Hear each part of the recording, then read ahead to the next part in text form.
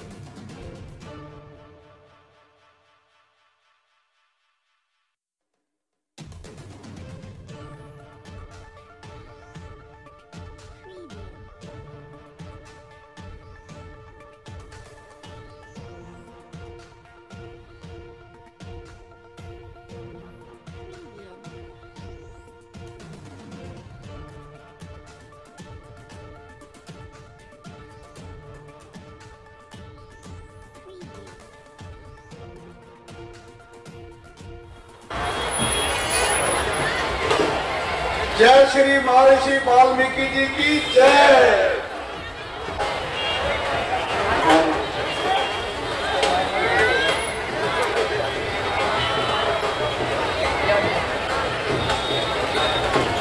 मैं अपने आप को खुशकिस्मत समझ रहा हूँ कि आज मुझे यहाँ आने का मौका मिला और आपसे मिलने का मौका मिला।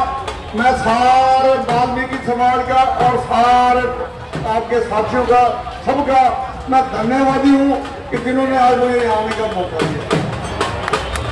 साथियों, आज हमारे बीच में परमानंद जी नार सोमनाथ जी सोत्रा मेरे पुराने मित्र हैं परमानंद जी राजा राम नाथ धर्मदास सोत्रा प्रेम अग्रवाल जी, नरेश नाथ जी, प्रेम दारू जी सतीश लोट, वी के नार, डॉक्टर गुरजीत सिंह जी भूषण बरोड़ जी, करमजीत ताक भूपेंद्र जी, सुरेश चौहान जी, कैलाश भट्टी जी, सुंदर ऋषि वाल्मीकि जी का क्या मौका मिला है। आपका बहुत बहुत धन्यवाद करता। सोम सौतरा सबसे पहले आ गया। तो मेरा सोमनाथ पुराना दे दिए साथियों, सबसे पहले मैं आपको बधाई देता हूँ। कि आज आपने बहुत अच्छा कार्यक्रम किया है। और महर्षि वाल्मीकि जी का तो हम सबको पता है कि हमारा जो वेद है हमारी महा जो हमारी महाकथा है रामायण लिखने वाले महर्षि वाल्मीकि और इन्होंने ही सारा जो, जो चलाया सारा तो इनके थ्रू ही चलाया। सभी देवी देवता इनकी इज़्ज़त करते हैं, सभी यहाँ हमारे जितने भी समाज के लोग हैं, महर्षि वाल्मीकि जी की सभी कदर करते हैं और उनके जो मनाया हुआ असूल है, उस पर चल रहे हैं। सच्चे और सच्चे इंसान इन्होंने हर आदमी को बनाया है और आप आज वो दिन दूर नहीं है, दिन दूनी रात चौगुनी तरक्की कर रहे हैं, आगे भी करते रहेंगे। ये भी मैं आपको बता हमें पता है कि वाल्मीकि समाज, हमारा जो अपना समाज है, हमारा परिवार है, खास तौर मैं तो अपने आप को खुशकिस्मत समझता हूँ कि हमारे माता रोशन लाल जी, मैं आज याद आ गई उनकी। जब हम छोटे छोटे होते थे तो वो आपके परिवारों में यहाँ सारा दिन रहते थे, हम भी उनके साथ देखते थे। खूब उन्होंने आपके साथ, और आपके बिना उनका एक मिनट भी टाइम पास नहीं होता था। सारा दिन अपने साथ रहा करते थे, और हम भी आपके साथ रहते थे। मैं आपको एक बात का विश्वास दिला सकता हूँ कि मैं आपके लिए जहाँ आप खड़ा करोगे, वहाँ आधी रात को हाजिर करूँगा यही आपको विश्वास दिला और परमात्मा ने मौका दिया तो भाई नौकरियों में आपको पीछे नहीं रहने देंगे। ये भी आपको मैं क्योंकि बहुत ज़्यादा हमें पता है, हमारा समाज पिछड़ा हुआ इस काम में लोग। लेकिन मैं एक तो कह सकता हूँ कि हमारा जो फ़र्ज़ है जो ऊँचे नीचे को ऊपर उठाना है। जो कमज़ोर हो गया उसको तगड़ा करना तो उसमें आपको जो बात कह रहा हूँ मैं जो कहता हूँ उस पर अमल भी करूँगा और करने की कोशिश भी करूँगा। मैं जय वाल्मीकि। जय वाल्मीकि। सबसे पहले आज जो मुझे यहाँ पर बुला के वाल्मीकि चौक कमेटी मंदिर कमेटी सबने जो आज मान सम्मान लिया, उसके लिए सभी का धन्यवाद करना चाहता हूँ। सब इसमें प्रधान जी, हमारे राकेश महोत्रा जी, अर्जुन नाहर जी राम नाहर जी, राहुल नाहर जी, सोनू लोट जी, विशाल, जो आज विशेष रूप से आए हैं। सोमनाथ सहोत्रा जी, जिनसे हमारा बहुत पुराना नाता है। प्रेम धारू जी राजा नाहर जी जसवीर बागड़ी इन सबसे मैं मिलता रहा हूँ बचपन से। हमारे परिवार की तरह सारे हैं, क्योंकि तो हमारा बचपन यहीं बीता हुआ है, इन्हीं गलियों में हम भी बहुत रहे हुए हैं। मेरे पुराने दोस्त सारे आज मेरे को मिल रहे हैं, बड़ी खुशी हो रही है इस बात की। क्योंकि जैसा भी हो, बचपन जो होता है, वो हमेशा के लिए याददाश्त रहता है। तो वाल्मीकि जी के आज प्रकटोत्सव पे जो हमारे को बुला के आपने जो शुद्ध और आज जो आज इस तरह का वातावरण देखने का जो मौका दिया है, उसके लिए आपके सदा ऋणी रहेंगे। और वाल्मीकि जी के बारे में मैं क्या कहूँ, जिन्होंने खुद राम जी को लिखा, रामायण जिन्होंने लिखी, जिनके शास्त्र पे चलते हुए, अगर हम उनकी लिखी हुई रामायण पे अगर चलते हुए अपना जीवन व्यतीत करें तो हमारे जीवन में कभी कोई कमी नहीं आ सकती। तो इनके बारे में मैं कुछ कहूँ तो मैं बहुत छोटा हूँ, लेकिन फिर भी इनके एक विश्वास दिलाता हूँ इनके रस्तों पे हम ज़रूर चलेंगे। पहले भी चलते आ रहे हैं, जितनी कोशिशें आगे भी इन्हीं के रस्तों पे चलते हुए। समाज का जो भला हो सकता है हमारे, हम जो कर सकते हैं, जो परमात्मा हमारे से करा सकता है, हमेशा हाजिर रहेंगे। और दूसरी, एक एक चीज़ और, जो इस, हमारा जो वाल्मीकि समाज है, जो हमारा परिवार है, ये अगर किसी से कोई नाराज़गी पैदा कर ले तो फिर उसका भगवान भी कुछ नहीं कर सकता। और अगर जिसके साथ खड़े हो जाए, अगर जिसके साथ आगे खड़े हो जाए तो उसका कोई दुश्मन कुछ पाँव माता नहीं कर सकता। तो मैं तो यही कहूँगा भी आप, हमारा आपसे बहुत पुराना नाता है। मेरे नाना जी माता रोशन लाल जी और ये एक परिवार की तरह रहे हैं। उसी तरह ही मैं रहना चाहता हूँ आपके साथ। हमारे परिवार, मेरे पिताजी ने हमेशा आप लोगों की सेवा की है। तो आप जितना प्यार हम आपके साथ रहेंगे जितना बढ़ाओगे आप प्यार को उससे पाँच गुना करके आपको वापस मिलेगा। हमारी कोशिश यही रहेगी। तो मैं ये जो संबंध है आज के बाद पूरा तरीके से और ज़्यादा निभाने की कोशिश करूँगा। अगर कभी गलती हो तो कान पकड़ के कह सकते हो आपका बच्चा हो माफ़ी भी आपने ही देनी है अगर कभी कोई गलती होगी नहीं वैसे। तो इसी के साथ जय वाल्मीकि। जय वाल्मीकि।